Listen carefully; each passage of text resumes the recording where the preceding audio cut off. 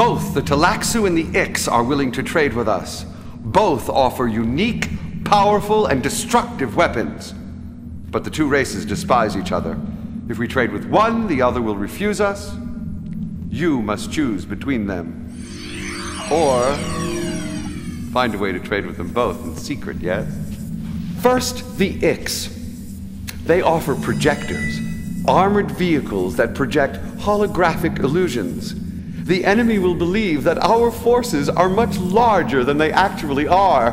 They also offer infiltrators, explosive mines that will reveal any type of enemy stealth unit. Next, the Tleilaxu. They have developed human mutations called contaminators. These carry a virus that mutates living tissue into additional contaminators. The more they kill, the greater their ranks become. Also, they have developed bioengineered tanks that convert enemy units into replicas of themselves. These they call leeches. Will you trade with the Ix or the Tleilaxu, or perhaps both? Remember, if either one discovers your deception, they will not be pleased. The choice is yours.